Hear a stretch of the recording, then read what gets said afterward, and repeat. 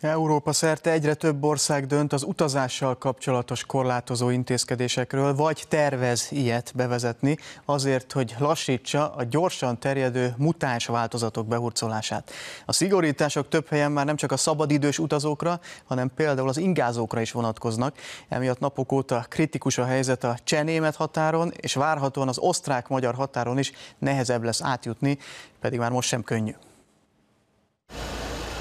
Vége láthatatlan sorokban álltak a gépkocsik a cseh-német határon, amikor a német tartományok szigorították a belépési szabályokat. Január 25-től már a cseh ingázóknak is 72 óránál nem régebbi negatív koronavírus teszt kell ahhoz, hogy átlépjék a határt. Órák óta várunk itt, és egyelőre nem látjuk a végét sem a sornak, mondta egy cseh ingázó, akit a felesége várt a túloldalon.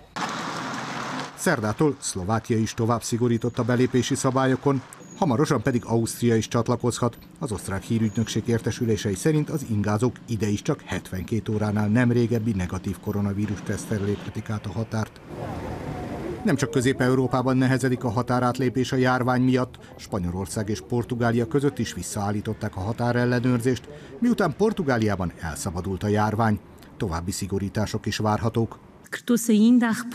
Amennyiben a járványhelyzet azt indokolja, felfüggesztjük a külföldi repülőjáratokat, az utasokat pedig ismét karanténra kötelezzük, jelentette be a portugál kabinetminiszter.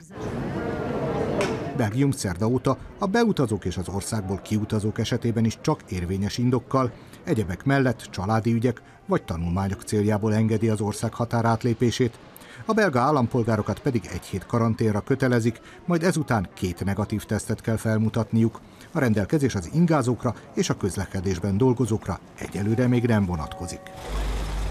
Németország is beutazási tilalmat tervez, Nagy-Britannia, Portugália, Brazília és Dél-Afrika esetében, hogy megakadályozza a vírusmutációk külföldről történő behurcolását. Mivel nem számíthatunk arra, hogy hamarosan lesz egy olyan európai megoldás, amely Németország elvárásainak is megfelel, nemzeti hatáskörben intézkedünk, mondta a szaktárca vezetője. Az Európai Bizottság ugyanis még csak tervezi egy közös uniós irányelv kidolgozását, miközben több tagállam fenn akarja tartani a mozgás szabadságát az unión belül.